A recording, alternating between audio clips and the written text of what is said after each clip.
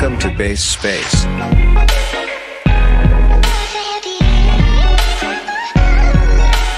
A crypto podcast. Based Space. Hey everyone, I see we have some new listeners as well. Uh, welcome to the Based Space, the crypto podcast hosted by myself, the Crypto Mewtwo, Chase Coins, and Super High that creates opportunities for growth, networking, and education in the crypto industry. Today we have the honor of having Jacob Steeves, co-founder and engineer, and Carro, front-end lead slash engineer from the Open Tensor Foundation, who are building the BitTensor network. Welcome to the show, guys. Just pumped to have you on. Super. Thanks for having us. It's great to be here. Right on. Yeah, yeah, yeah. I know uh, Super is a huge fan of the project and excited to, to learn more. But before we do that, we always like to ask our new guests like how they got into crypto. We'd love to hear hear your guys' story. Maybe we start off with Jacob and then move to Carro. So, so question is how how I got into crypto. Yeah. Sure. Uh, so I was um I was working for a subcontracting company of DARPA building neuromorphic chips. Uh, when I graduated from university, it was the first job I, I found um, that was doing something that I thought was going to innovate machine intelligence because I was at, studying at university and, and really thought that the biggest issues um, in, in, machine intelligence were com- around compute.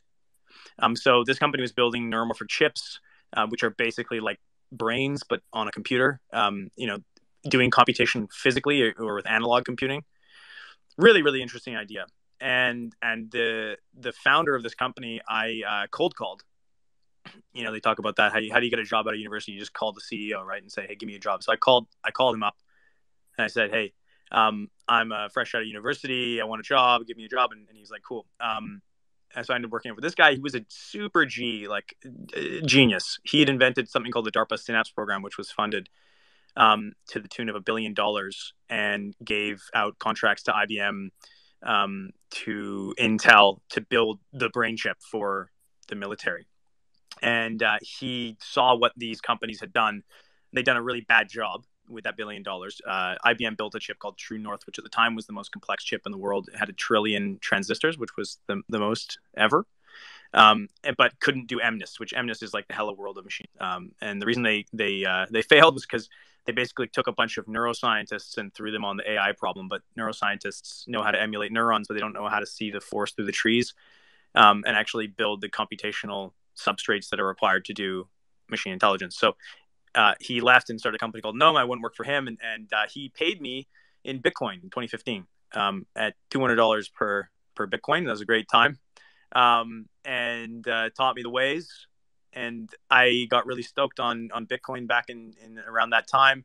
I started uh, teaching it in Vancouver um, at this underground community space called uh, Decentral, uh, which was like a real grungy anarchist um, basement dwellers crypto space with like red lights and a, and a stairwell that goes down into the uh, underground and a bunch of weird cats, you know, talking about crypto and and memes and Doge and all those things and kind of losing their minds. Um, and so I started talking a lot about crypto there and learning about the the world and became a bit of a maximalist. I would like to say I'm a maximalist, although um, it's a little hard when you're creating your own cryptocurrency. So um, uh, yeah, that's how I got in. Uh, and then I, I, I, was, you know, I took my machine learning engineering background and, and really was fascinated by, by Bitcoin's ability to consume uh, the largest amount of computation, computational power in the world, um, you know, magnitudes larger than companies like Google. Um, and I wanted to, to apply that same, you know, unifying force to the AI world. Anyways, that's, that's my, my, uh, my history there, my beginning in crypto. Very base. Love to hear that. And what about you, Carro? Incredibly based. Uh, even I, I just learned about this. Is I, I didn't even. It's incredible that I didn't know you worked on neuromorphic chips, particularly True North. That's incredible. No, no, no. Or, I, I never worked on True North. No, no. I worked with a guy who ran the program that funded IBM. Um, so IBM did True North, and as I was saying, disaster. So don't count on there. That's incredible. Hey, hey, nonetheless, we, we all learn something new every day, right? Yeah. Um, but Wait, the question was how we got started, right, in crypto? Yes, sir. Yeah, so um, when I was in the sixth grade, I had a particular problem, which was uh, how do I buy a computer And uh, what I would do when I was a kid uh, is I would go and work on these construction sites, and I'd pick up trash for about for five dollars a day. And so by the end of the summer, I had accumulated enough money to buy this like the low end Toshiba computer. And so I'd run into a problem, which was that the computer that I wanted to get was on eBay, and you needed a credit card or a debit card in order to to uh, uh, you know be able to purchase this computer. And so what I would end up was I would go to Walmart and get those prepaid gift cards. And there was just a whole hassle in order to, to, to buy things on the internet for me. And so one day I was watching like a rerun of The Good Wife. And uh, it was about like the founder of Satoshi Nakamoto was getting doxxed and like he was in court and all this and the, the good wife was the lawyer for it. Anyways, the whole the whole episode was pretty intriguing to me. And so I was like, oh, I want to go get I want to I want to get involved in Bitcoin. And so I took that Toshiba laptop and really started from there. Um, I started building, you know, different things or trying to at least, right? Like different applications that would like be like essentially wallets for Bitcoin. Um, and then uh, I, after that, um, I got involved uh, with some some League of Legends, uh, like video game add-ons essentially, um, and I accepted Ethereum for that. And so uh, I, you know, it was it, it's really cool. The, the the thing I liked about crypto so much uh, when I got started was that like if you wanted to get a bank account, you had to do so much KYC. But with crypto, you just have to create a wallet on your computer and you can create as many wallets as you want. And, you know, basically like you can keep your money there. And so this was really interesting to me, uh, particularly when I wasn't able to get a bank account. So uh, that's, that's how I got started with crypto. Oh, Jacob, I saw you unmuted. I didn't know if you had anything to add there. I just just makes sense that Carro was trying to get around regulations. Um, uh, that's why he's in crypto. hey, you know me. uh, you know, having worked with Carro for a while, that's I, I, I know the man uh, is hard to contain in a good way. well, we won't dive too deep into that one. Um, Jacob, I'm like also very curious. Like, how did you, how did you even like decide to like start building BitTensor? Like, what what kind of got you like moving and this project to to building it out to where it is today? Sure. So I was um I was I was working at this neuromorphic chip company, and they they were failing um, because there was really no market for their chip. Um, you know, Google was building the TPUs, and and I was so upset because they had this really great um, software and hardware that would have made their economies of scale um, sorry, not their economies of scale, but their, the efficiency of their chips, you know, much better than than anything that uh, G- that uh, Google was doing. But they couldn't plug that into anything, right? There was no direct market for them, and uh, I explained this to them, my my boss at the time, the genius guy, um, and he didn't really see the light. Um, he, he kind of believed that they would be able to find that market, but it never happened. I don't think. Um, and so I set out to kind of build a to build a market for this commodity that we were mining. You know, we're we're creating machine intelligence, and we, at the time we were doing unsupervised learning. Um, you know, it's something that's transferable. Um, it's really hard to mine from data, uh, and it's generally valuable. So it kind of has like the the trilogy of of a currency, right? It's like fungible, it's universally acceptable, it's it's expensive, it holds value, all these things. So it's it's a little bit like a, a currency. And I was and I was fascinated by by cryptocurrencies at the time, and I thought, well, hey, we could build a, a currency which has its you know basis in in machine intelligence. Um, but uh, I was at that time, 2015, just graduated university. I was kind of an idiot and didn't really know what I was doing. So I started I started coding this. I started uh, taking TensorFlow and breaking it apart and building um, like sockets into the TensorFlow operations. So you could like write a graph um, that was a, whole bunch of um, RPC connections to a bunch of other graphs and and build these networks. Um, but didn't really know what I was doing, um, and ended up kind of failing uh, and going to Google and ended up at Google where I worked with the sort of enterprise machine learning that they were doing, which is pretty, you know, hardcore to to say the least. And um, you know, on the weekends was writing a lot of BitTensor. Um, the idea was just to kind of connect machine intelligence into the internet because that was a dimension that hasn't really been touched into. Everything is server based, like single server, um, high fidelity connections, low bandwidth.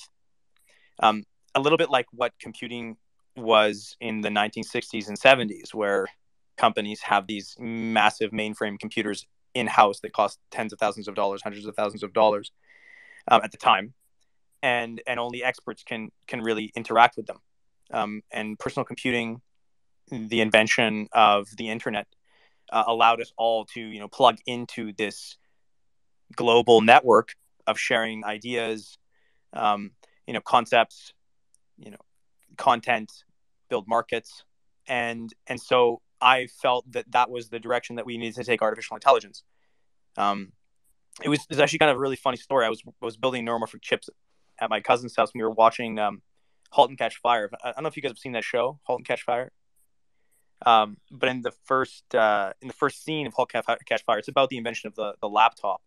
Um, the first scene is the main character walking into this this uh, I believe it's uh, Carnegie Mellon or, or Berkeley or, or Stanford computer science class, and he's like, "Hey, you know, what's the invention that's going to, you know, uh, revolutionize computing in the next 10 years? And, and somebody's like a neuromorphic chip. They basically describe a neuromorphic chip. And he's like, sit on, you know, and then another main character uh, in the back goes, you know, um, it, we're going to determine, we're going to, we're going to invent a protocol for connecting all of these computers together. Um, and then that's the beginning of the show. Um, and I watched that show and I remember thinking that so right. The, the, over the last 50 years in computing, the real, real innovations, the things that have affected our lives the most have been you know, about increasing connectivity, uh, increasing collaboration between humans, um, putting the lines between the nodes. Uh, so that was that was the inspiration, um, and I was also inspired by Bitcoin. So I started working at that on the weekends, and then I eventually quit Google um, for ethical reasons, and also just to pursue my my passion for building the neural internet. That was around 2018.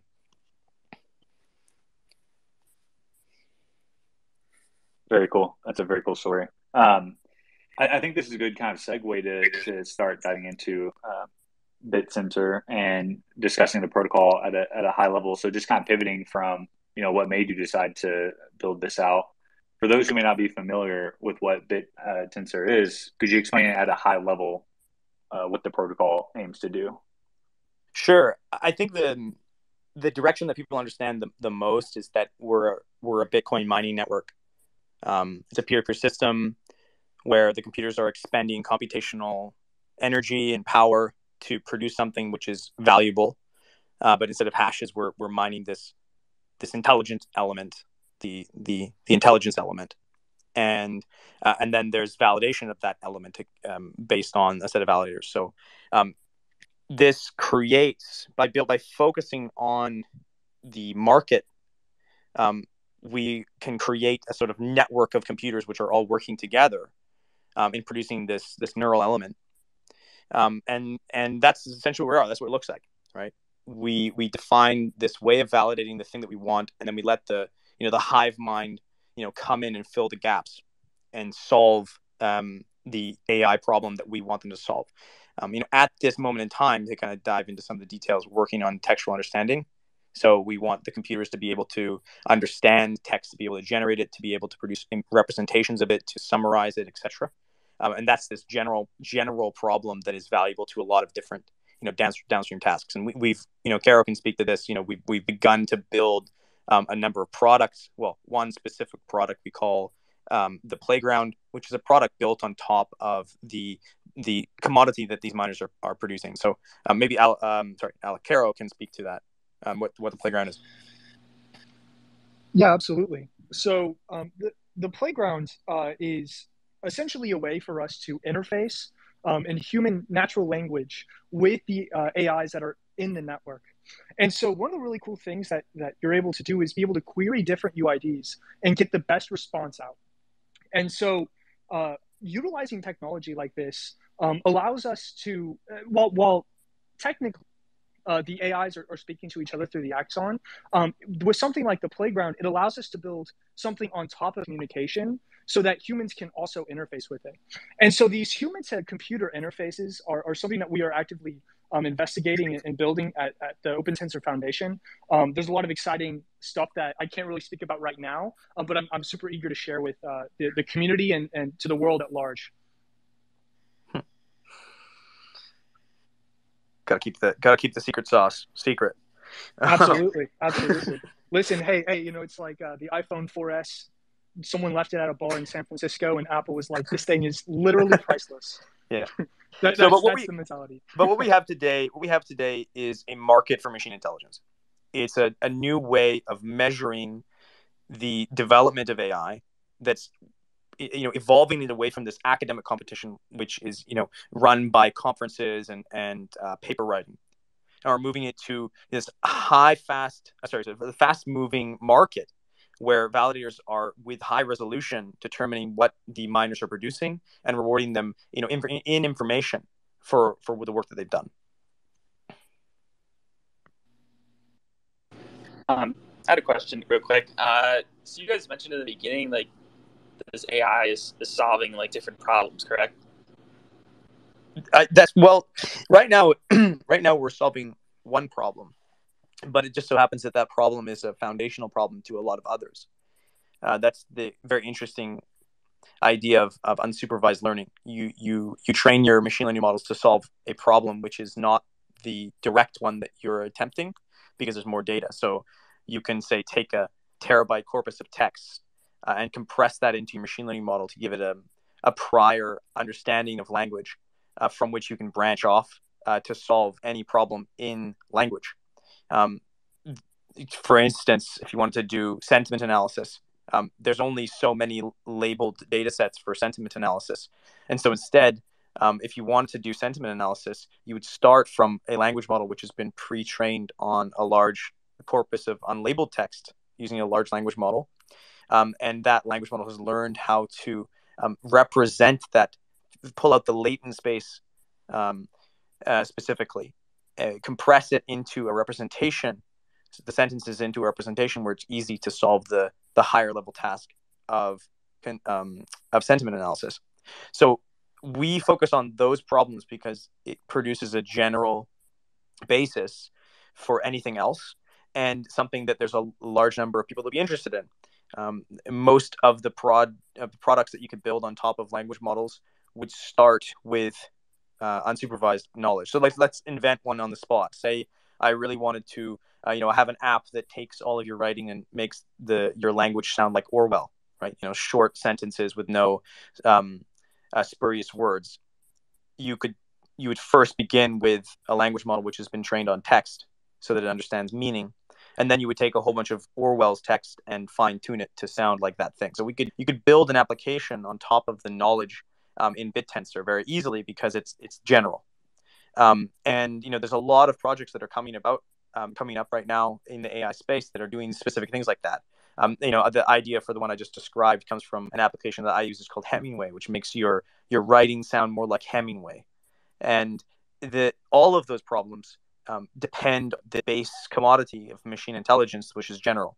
Um, so that's where we're trying to situate ourselves is this kind of neural internet um, that a pool or an ocean, which which all of these applications can dip into to solve their specific problems um, using the the large network of collaborative machine intelligence that we're producing. Ah, Yeah, okay. very. Yeah, that makes a lot of sense. Thanks. Jacob, that really kind of touches on on, on my follow up question on that. Uh, you know, when people kind of ask, you know, they, they think AI, they think you know blockchain, and the combining of the two. Uh, ultimately, like, why is BitTensor needed? What like what is the problem that you guys are ultimately solving, or what is like the ultimate service that's really being offered here when you combine blockchain technology with the AI? Well, I think I think you know I, I mentioned before that there's this value that is accrued by a machine learning model, you know, in its weights, and that's a representation. It's an, it's the way that it looks at the world, and you know, traditionally or say like contemporarily, the machine learning world is is very disconnected, and there are many machine learning models, but they're not talking to each other, not learning from each other, and we want to break down that door to connect the machine learning models together. We want to connect the engineers together um, and we want to start working on this collective intelligence, like you know, at the level of humanity rather than the level of the individual. Um, you know, for efficiency reasons, I think number one, but it's more than that, right? Because we're also nesting this pursuit of machine learning, you know, or, AGI underneath the market, and that that's going to also stimulate you know efficiencies um, and innovation as people you know are driven by self interest to to solve you know micro problems in this network we think that that will you know hyper drive the pursuit of AGI. I think I think that's you know the the thing that we're bringing to the table here is is a hyper efficient way of creating, sharing, storing um, machine intelligence and making it accessible and open to people. Uh, that doesn't exist. There are you know systems like Hugging Face where people are hosting models, but they're not running inference on them right for you, and and they're also not being paid and the whole market is essentially existing because of you know this demand for altruism in the AI space. But what happens, you know, in fact, is that uh, is that these companies that are trying to be altruistic and fa- are really you know funded by large organizations like Google, right? I won't name any names, but the majority of them are actually funded to billions of dollars to open source the the products of their their adversaries you know, rather than actually figuring out a way of incentivizing the machine learning engineers to do the work and make it open, um, they're they're they're paying them to to break down uh, the monopolies of their competitors. So so we, we think this creates a much more you know fair, um, equitable way of paying out. Uh, you know, allowing people to, to have a stake in the, this development of artificial intelligence of you know quote unquote AGI.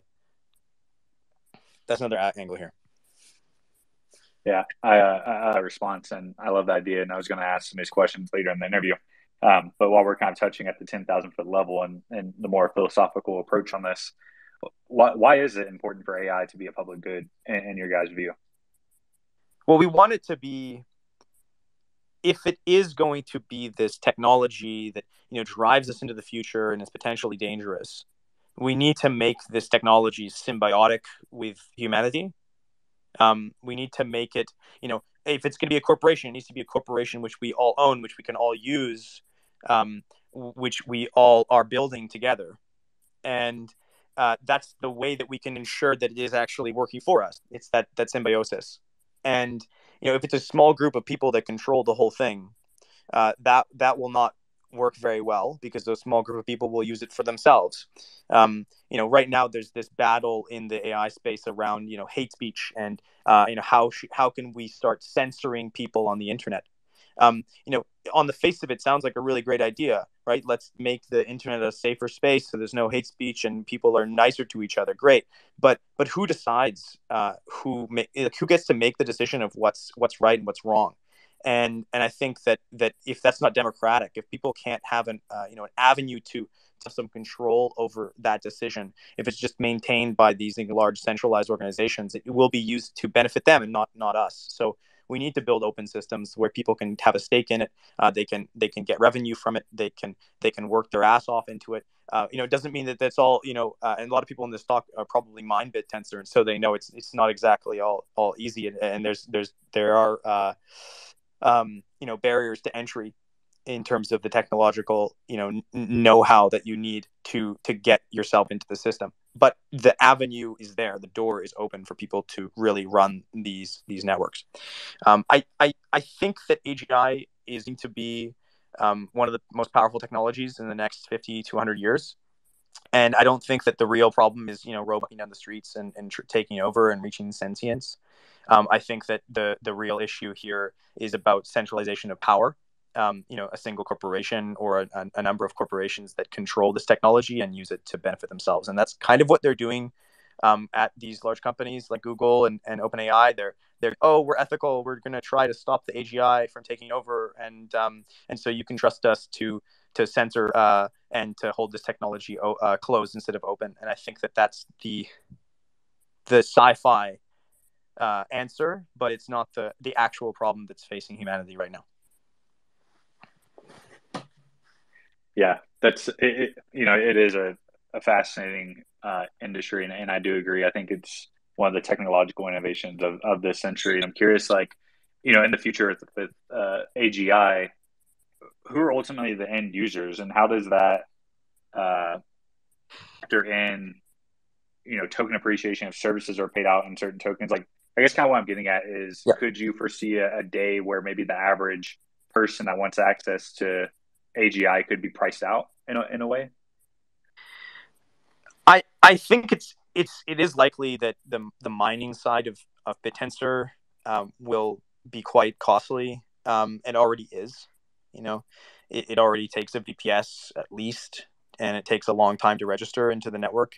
Um, and that's because the models that we want are pretty large uh, they have you know billions of parameters and, and to do inference at the speed that makes the system you know worthwhile to then uh, you need a gpu or two gpus or maybe three gpus to run that endpoint and and we're, we're starting to talk about you know a couple thousand dollars a month to to run that endpoint so this isn't just you know anybody um, the the thing that uh, that makes it open is the fact that there's there's cooperation and there's also competition between the validators and the entry points. So not everybody, not only one person has the only entry point into the system, and so that's where there's competition. Um, where something like, for instance, Twitter doesn't have. Twitter, there's one entry point into the decentralized protocol that it could be, um, you know, of, of, of sharing tweets. Uh, there's only one company. Whereas what we want to create is a system where there are you know thousands and thousands of people that have access or you know thousands and thousands of companies that have access to this this system can mine into it can can can make uh, you know requests into it with a lot of speed and so that kind of that competition we think will will hold people honest and and competitive um, from a cons- consumer perspective um, you know anybody can also hold TAO so anybody can use TAO anybody uh, can own it. So it's read, write, own. Um, mining just is just a little difficult, uh, and that's that's part of the the the difficulties of the um, you know stemming from the fact that that AI is actually quite expensive, right? Um, and that's that's also why we need an incentive mechanism. This commodity can't be shared without profit sharing. It's just too expensive. It really is quite expensive to run a GPU. Yeah, so you touched on the difficulty of you know registering right now, which uh, I had um, the joy about a month ago, and it was, it was quite easy, and now it's it's picking up on difficulty. So do yeah. you see like as time goes on, that only institutional clients or people that have you know thousands to tens of thousands of dollars to to run these miners and validators are the ones that are you know validating on the network, or do you see kind of like a a distribution of, of more like retail people being able to, to like as uh, maybe subnets come. I, I mean, I, like like in Bitcoin mining, you know, it's the way that we're going to bring more people in is with pooling. Um, where people that don't have a lot of cash can can maybe um, you know pool that that cash together to create a server. There's 4,096 endpoints in BitTensor right now, um, and it's a pretty large network. Probably there's at least a trillion parameters on on the network, which makes us one of the largest language models in the world and the you know incentive per day is something like ninety thousand dollars, right? Um, and the market is quite efficient, so people are expending maybe about ninety thousand uh, across those four thousand endpoints. So th- that's significant um, demand to get in the network, which drives the the proof of work up, and that's why we see it so high. Uh, the only way to bring it down, we think, is to increase the number of UIDs, which is where we're going to go. Essentially, having multiple networks um, in the BitTensor ecosystem, um, so that we can work on different problems, more specific problems, different modalities, um, and probably we'll have in the hundred thousand UIDs. Um, but if the project does reach, you know, the the billion dollar level, which I think it will, there will still be an incredible demand to get into that network and and it will be not something that your grandma can can do in, in an afternoon to to get up and running and, and run something that is competitive with with the rest of the network. Uh, I think that's just kind of the limitations of being a miner in a hyper competitive system. Chase, I see you unmuted. Yeah, I, Jacob, thanks for that response. I was just going to like kind of follow up on this, and you know, for people like myself, I'm, I'm not I'm not like super not super well versed in BitTensor, so I think uh, just kind of zooming back out, starting at a high level, could you touch on the roles? Because I know you have there's uh, a few different components. You have servers, uh, and then you have like validator nodes. Could you kind of touch on the the roles that those play within the ecosystem? Sure. There's there's two there's two main nodes. There's there's people that are solely producing machine intelligence and there's there's there's computers which are solely validating it they can be the same computer but in practice uh, people separate those those concerns and that's why we have the two classes so the third class is really just the union of the two you know a computer which is which is uh, soaking up knowledge and then also serving it um, which which would make sense, right? Because you're you're if the network is holding value, then we should you should be able to extract knowledge from it and use it to to perform better in the network. Um, the but to break it down in in that way, the the miners are effectively language models that are trying to produce representations that the validators will find valuable. The validators are computers which are attempting to figure out who in the network is valuable um, according to a data set which is universally accepted by the other validators. Um, and they're trying to quickly evaluate who is who is the most performant miner um, so that they can they can purchase they can speculate on its value and and purchase bonds in it uh, to maximize their their inflation in the system. So the, that's that's the way that we designed the consensus mechanism. It's it's really like a you know it's a it's a free for all for evaluating the the informational significance of the miners. I know it's a race to speculate on that by the validators, and then the miners are attempting to fill the holes um, created by the validators. Gotcha. And so um, I know all the the nodes that are assigned uh, the task of like parsing collections of text data, like you just touched on. But ultimately, kind of where where's all that data being originated from? Like, wh- where's the source of that data? Is it the individual entities behind you know each node or, or mining, or what does that relationship kind of look like? It can be the individual uh, nodes and entities, but in practice, we provide a data set that's you know parsed and ready for them to use, um, and we source that from the web. Um, the, ma- the majority of the text comes from a data set called Pile, which was produced by an open source community called Eleuther. Um, we also append to that data set and host it on IPFS.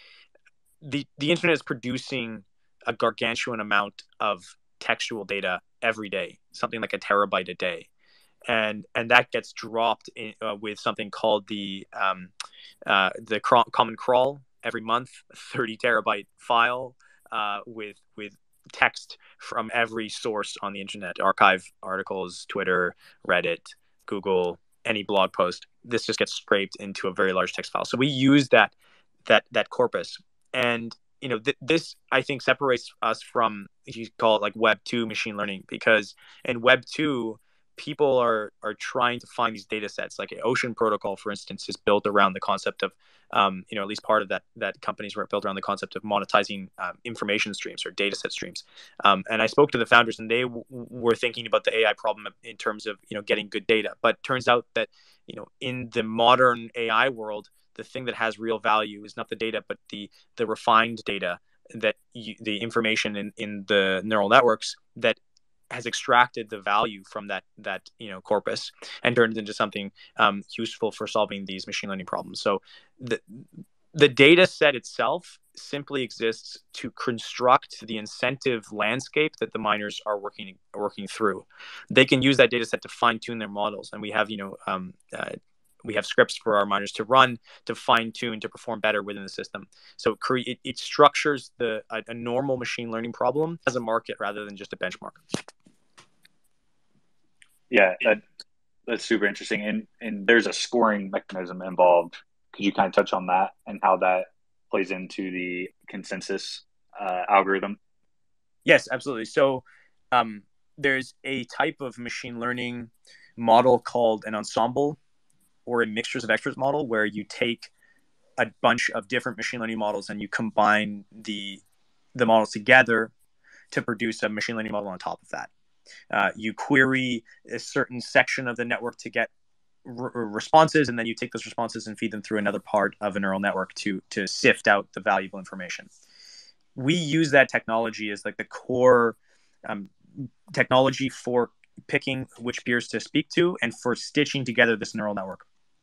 The validators are the head of that that neural architecture, and the miners are the the foundation. So they select for each input who they're going to query, get those inputs, and learn who's valuable for solving their specific problem. In the process of learning, they can determine, oh, okay, well, um, Chase's miner, for instance, is not producing anything of value. Uh, he can he's essentially noise. He can be removed from the the active set um, of peers that I'm going to set a, a, high weight to. Uh, we take the the sum total of those weights uh, to produce a, a, global scoring for each miner, um, and then distribute the the emission to those miners, you know, dripping each block one block every 12 seconds. One tau, sorry, one tau every 12 seconds, which is one block. Yeah, that's it's super interesting, and I think also it's just you know it's some learning behind it between AI and the merging of of blockchain because know when you think of consensus, you're usually in, in terms of blockchain, you're thinking about consensus of like you know the state of the ledger, but this is the the state of quality of nodes within the, the ecosystem. Is that is that like a fair kind of Yes, exactly. dummy down response or version? What you said? Exactly. Yeah, exactly. And the the validation is done by the the validator. Sorry, the consensus is, is amongst the validators. So they determine the validators collectively what the network is working on and reach consensus about what they're going to reward.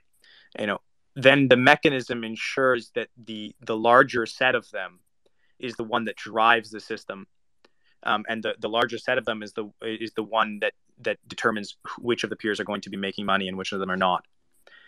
The a little bit like the longest chain in in Bitcoin, um, but it's a proof of stake system, so it's it's more about the the the set of validators which have the largest amount of stake.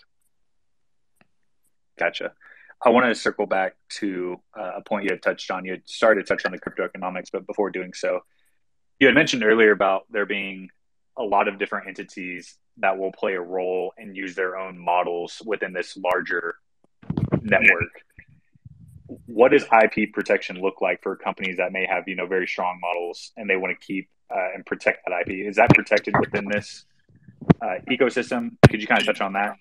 So we're inverting the problem of IP because uh, traditionally the the step here is that the IP would be around the weights of the model right? So we don't want to open source the the weights of GPT-3 because that has all of the you know the the monetization for that company, uh, monetization monetization potential. We're flipping it and saying no, the the value is the information that you can get out of the model. So the value is the is the model that you can inference, um, and that's the thing that we want to share. So the models actually stay behind the scenes and the weights don't get shared. It's just the ability to inference them that that is being open sourced. Because it doesn't matter really if you have a really large model if you can't inference it. And that's very expensive right? To, to run an inference on a gpt-3 would require a number of gpus um, and very would be very expensive to do. Gotcha. Okay um, and by inference, whenever you say inference in terms of you know machine learning and, and modeling, what is that specific act? So inference is the actual querying of the model that's been trained. Training is the process of, of uh, annealing the weights or or adapting the weights to fit a loss function.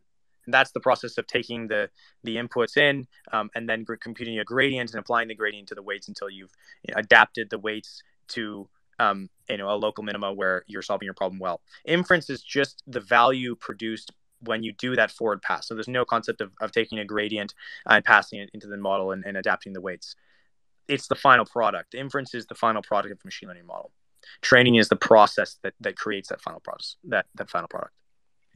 Gotcha. Okay. Yeah. Thanks for that breakdown. This is this is a very informative uh, conversation around AI, and I'm learning I'm learning a lot. Uh, switching back to some things I do know a little bit about um, crypto economics, you had touched on uh, kind of like the emissions. I was just wondering if you could kind of expand on the emissions and how that plays a role. I think you mentioned um, every 12 seconds you have a, a, a, new block. Yeah, so we, we picked something really conservative um, with the emission. We just picked the, the Bitcoin uh, emission curve because uh, we think that you know people understand it really well, and we're not. That's not our innovation as a company. So we picked that, and and we have you know four year halving cycles approximately, and you know 21 million limitation on the tokens.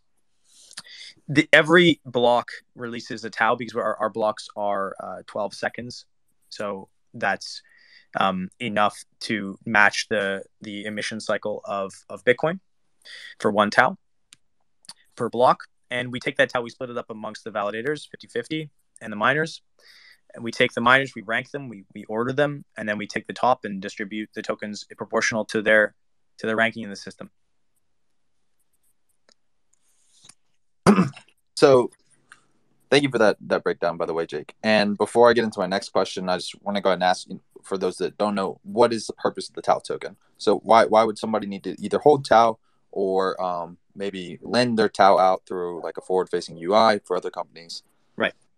That's a really great question. And where we've seen this the the project go in the in the you know two years that we've been running it is that in order to build start building an application you need to hold tau. Um, you know we have an application running. It's, it's you know the the alpha playground right now running on nakamoto which is our main network. And in order to have the the request bandwidth to make that application worthwhile you have to hold a certain amount of tau. And that one's holding a fair amount that's where we see the utility come in for the token right? You are given access to this this whole library of machine learning models to build an application on top of. So it really is utility token in that in that way. Um, you could build um, a DALL-E 2 or a DALL-E 3 um, hosted on the network get paid for it. That somebody who wants to query that network to do image generation can use a front end application that someone has built for them, or they can get in the network and, and do the queries themselves. That's how we imagine the, the structure will evolve um, because it, it, requires a fair amount of tau to kind of have high fidelity. Um, and if that is the the future for the project, you know the the large holders of tau can can start building AI companies and applications monetizing their Tau by by validating with it and using it to to shift the network um, to adapt to their their needs. Uh, Playground is a really good example of, of how, what we see that turning into. Very cool. So those who want to access the information that these AIs and uh, are generating will have to either own Tau or rent it through someone else's intelligence uh, through their yeah, valid. Exactly. Yeah.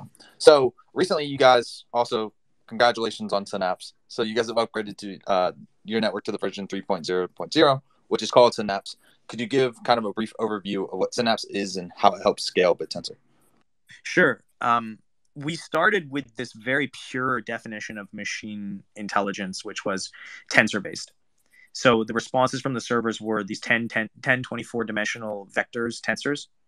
Uh, each of the tensors would represent a single token in a sentence and that was like the the highest bandwidth informational view on the the input sentence. So you could use it to do something like classification or sentiment analysis. Useful for training another machine learning model for instance. So much information that the bandwidth was actually a limitation rather than the speed of the computes. Um, but machine learning models can have different heads have different actuators in the same way that like the human mind you know we have we have arms we have legs we have eyes we have we have our tongue um, we have our, our language, we have our eye movements. All of those are you know, actuators on top of the general knowledge of our mind. And Synapses is, uh, you know, basically a protocol on top of BitTensor, which allowed us to integrate numerous types of actuators. You know, we can we can query the network and ask them to to take the the outputs um, and format them in a way that, that we want them to be formatted. So, you know, a very useful way to do that format, formatting would be to, to just convert the embeddings directly into text so we can do things like generation. The, the, that's the underlying, underlying technology for the, playground. We actually want to do generation. We don't want the, the, the most high resolution informational um, uh, representation of the language. We simply want tell us what you what you think would come next in a sentence, and that allows us to build the application on the playground. So Synapses opened up this this uh, you know this completely new um, you know toolkit of uh, evaluating the artificial intelligence models on the network um, for querying them for doing inference uh, and also building the the, the you know uh, uh something that has a uh, can have a lot more bandwidth you know and many more requests per second so we've reduced you know i think a hundredfold the the cost on the network chip by by using synapses. We've also opened up the ability of, of using Playground with synapses. And we can use the same technology to use uh, create different modalities to have models like Gato, which are doing language understanding, image understanding, um, you know, audio understanding all at the same time. So all of that kind of sits underneath synapses, which is this first expansion in the protocol uh, that we're really excited about. Yeah, I know you and the team have been working super hard, and also Carro, you know, feel free to jump in here if you'd like. Um, so I know with Synapse, it's gotten increasingly more difficult to register, you know, your hotkey.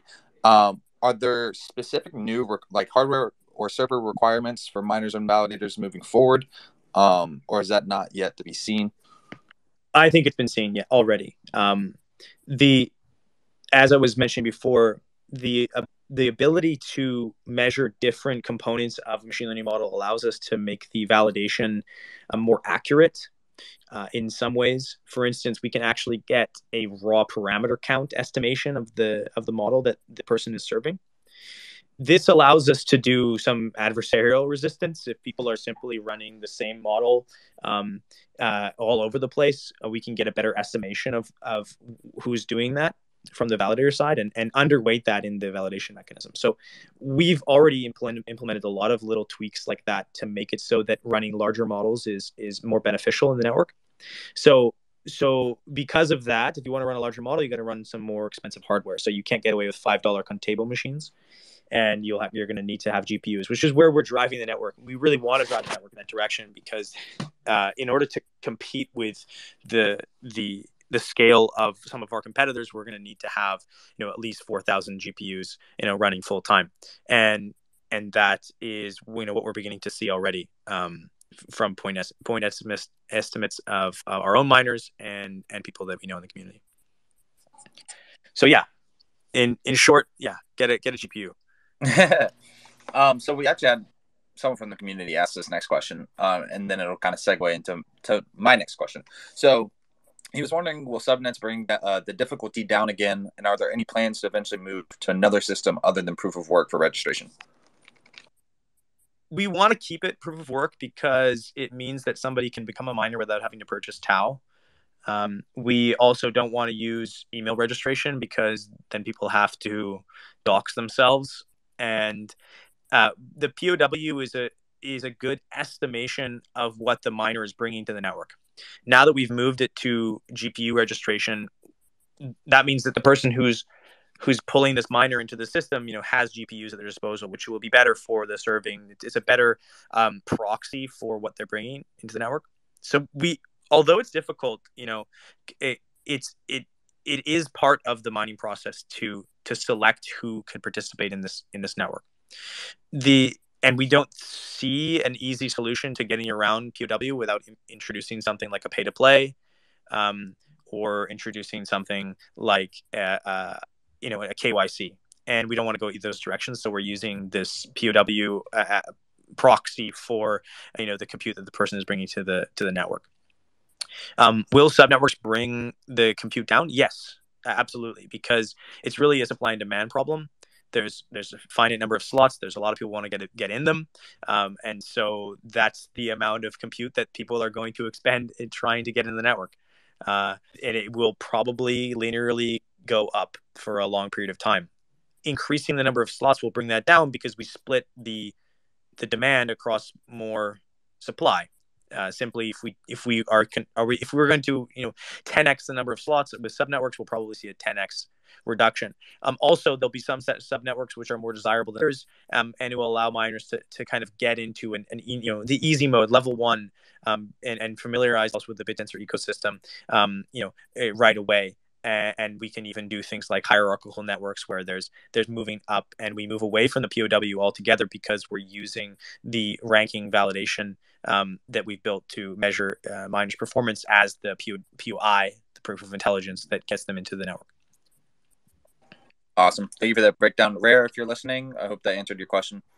Um, so, Jake, I know that Polkadot Parachain is on, on the uh, the roadmap for this year, if not this year to explain how this will help investors and users. And also, I know that you can only buy Tau right now on uh, the community made exchange, not affiliated with the Open Tensor Foundation um, or OTC in the Discord, or you would have to mine and validate.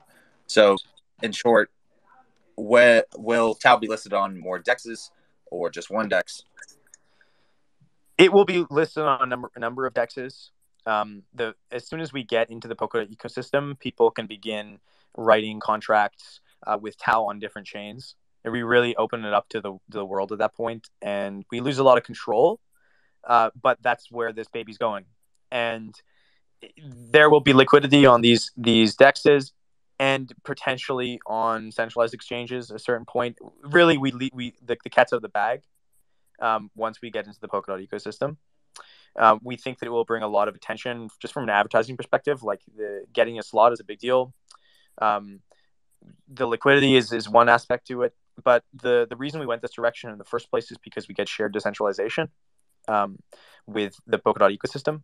So so it's harder to shut us down, and people can start to begin to have a lot more trust in the the validation process and the the hardness of the consensus because we have less control to change it. Right now, it's it's you know it's a baby. We're moving along um, slowly uh, on, purpose uh, with a lot of um, you know control. Uh, you know uh, the foundation has a lot of control over the network, but we want to you know open the door and, and let the project out so that the community has a lot more trust in in what we're doing and and, and knows that the the protocol won't change you know arbitrarily. Um, so so that's that's why we're moving in that direction with with decentralization to get liquidity uh, and end of year is is the goal. That's our our K, um, you know our OKR for the for the whole year. Very cool. Um, so just kind of move towards more the use cases of BitTensor. Uh, for you personally, and then Carro, free to answer as well. What are some of the projects you would like to see be on top of the? We want to see a DALL-E 2 competitor, DALL-E, DALL-E 3 competitor. We want a codex re- written into BitTensor that I can use in Visual Studios. Um, applications that you know the layman is using. Uh, you know, a network for the people by the people. You know, so so we want those type of applications to be plugged into BitTensor and start to feel around the edges of what uh, you know can be done. Um, because we have this great scale, we have so many models on the network. Uh, we're not just building a very narrow band machine intelligence system. We're building a whole community of machine learning models. We are really interested in seeing what people can can do um, creatively uh, by tapping into that diversity that you know other projects don't have. So I mean, uh, and, I'll, and I'll pass the I'll pass the mic over to Carro because I know he has lots of ideas here. Yeah, no. So uh, I think that there's there's a plethora of of things that can be deployed right now um, inside of the BitTensor network with the Synapse updates. So because we can do inference now uh, through the BitTensor API, uh, which you know you can just go straight through the BitTensor Python API and, and set it up. Um, you could right now go and onto Hugging Face, the Hugging Face model or model hub, find a codex copy or like a recreation of codex, um, and build it into VS Code and then monetize this on your own. So this is one like this is what's so great about the BitTensor network is because it's a marketplace. N- not only are is the existing applications of AI possible to do like speaking only about language models, uh, soon image models will be coming out. You know, there's a there's a lot that we're we're heading towards where you can do inference, but uh, there is there is just a, because it's a marketplace. Um, so many like I'll give you a great example.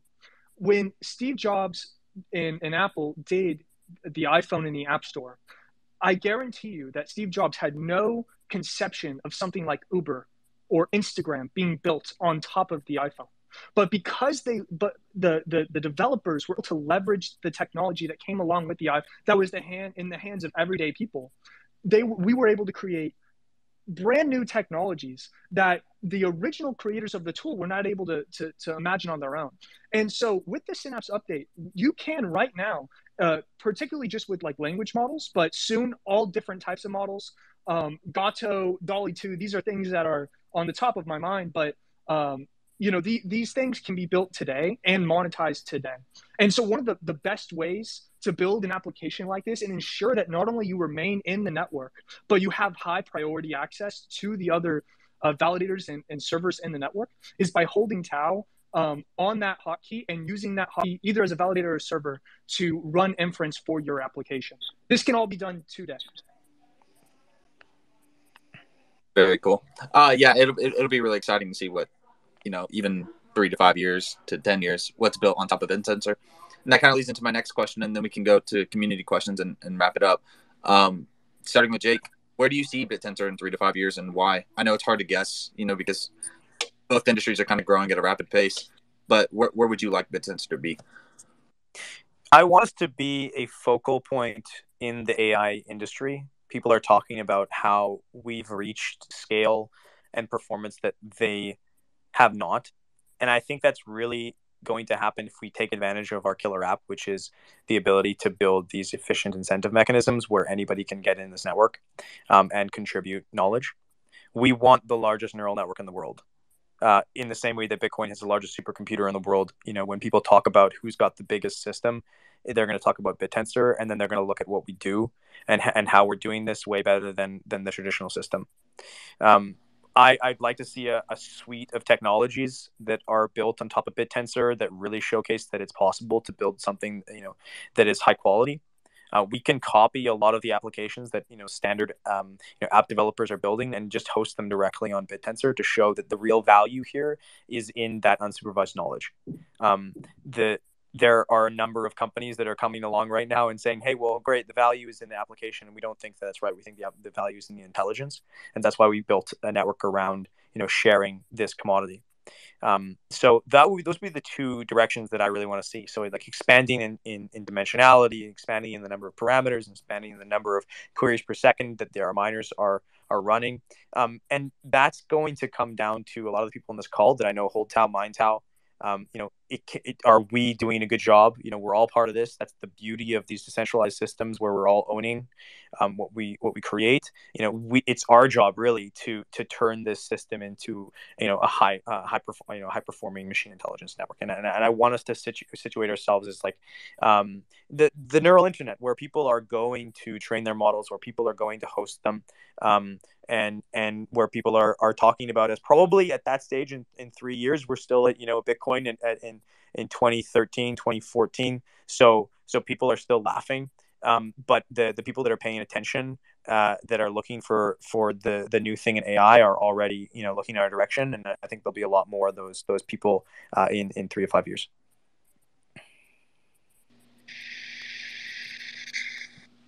Yeah. Where, where do you see BitTensor in three to five years? Also, thank you, Jake. Thank you. Yeah. Uh, so I see the the one of the things I really want to see um, coming along, and, and I think that it's already starting to happen, but uh, seeing the tooling advance. Um, well, now while it's it's very possible, it's it's uh, to to do inference and, and all these things. Um, what I'm really excited about seeing is the ease of use in the same way where like in 2019 2020 if you try to use hugging face i mean it was like pulling teeth. It was it was very hard to do. But now it's incredibly easy to you know get a model from the hub and fine tune that model to your specific tax and I think that we are going to see that same sort of thing happening in BitTensor over three years, where it becomes the default method of not only uh, uh, fine tuning, but running inference for your AI applications. And also, uh, in the same vein of tooling, um, I, I, really see where because it becomes so much more easier to to run uh, your AI models through BitTensor, um, I can really see something that's happening where uh, a bunch of new people who uh, are, are just getting started um, inside of the the you know mining, getting introduced to AI and building their own AI models, right? Um, I think that the BitTensor network, um, particularly the marketplace, is going to become so efficient that we are going to see emergent properties coming out of the network, some things that we, we necessarily couldn't predict, but will absolutely blow us away. Um, and so these are things that I, am really excited about. I think that we will hit the criticals um, that we need in order in terms of intelligence um, within the next three years, just because the uh, as we've seen since the Synapse update, just the scale of of uh, people trying to get into the network, the scale of compute that's being added, the scale of the models that are being added. Um, I think that it's really starting to compound and compound. And I think, you know, over the next couple years, we're going to really see some emergent technologies coming out of the marketplace.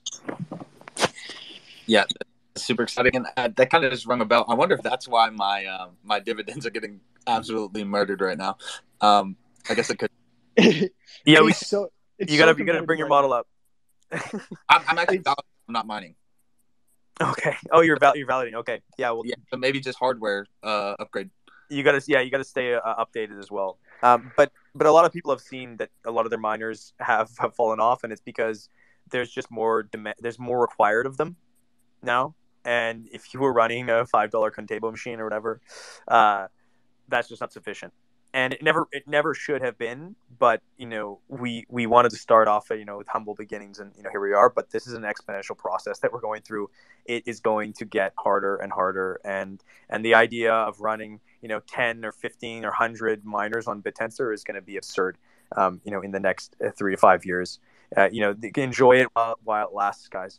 Um, Yeah, two friends that are running quite a bit of miners. So, and then some of us are in this call. So, you guys better enjoy it.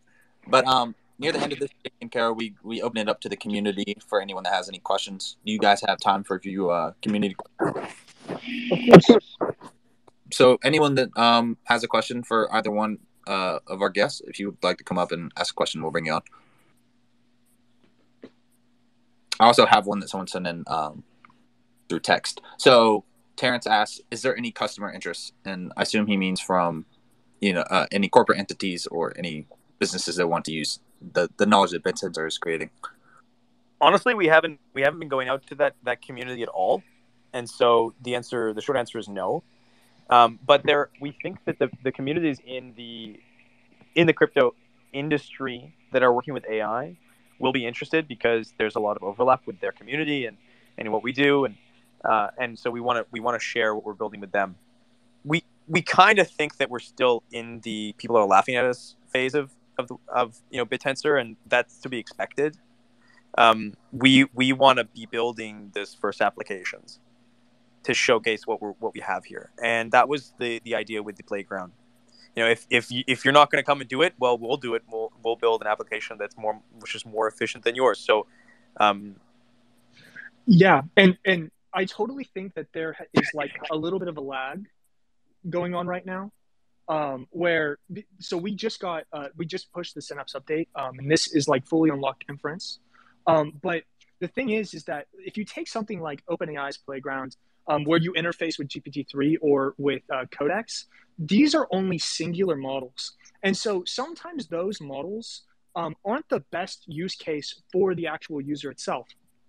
And so, uh, one of the unique asymmetrical advantages that the BitTensor network has is the ability to query many UIs and pick out what, what the best answer would be.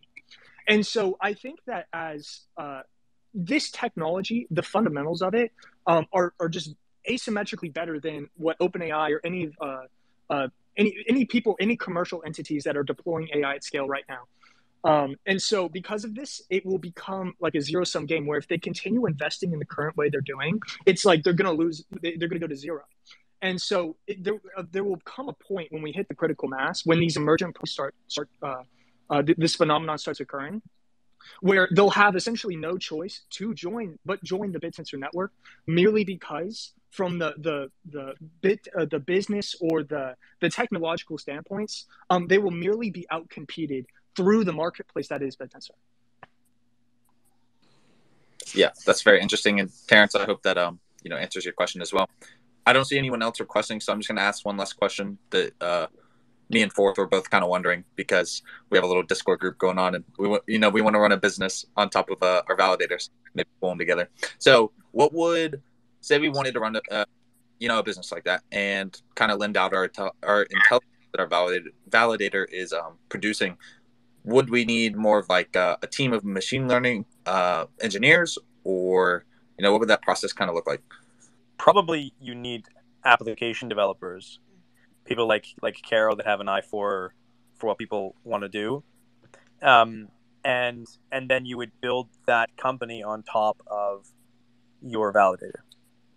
So yeah, that, that, that really comes down to having the idea, having an idea, right? You have to come up with your trick and trick pony, and then build build uh, a company around that that that idea.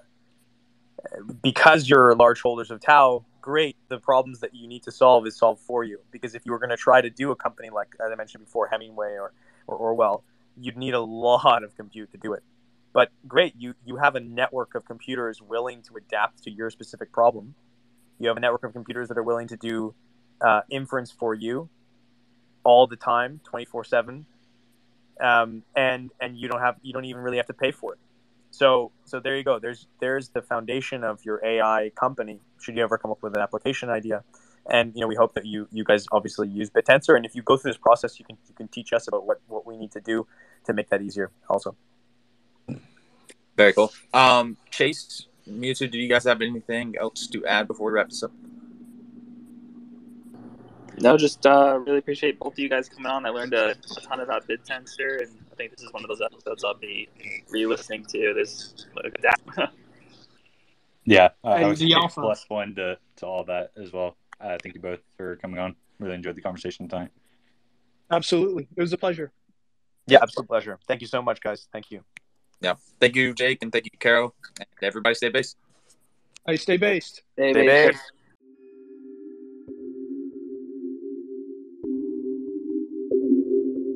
Based space.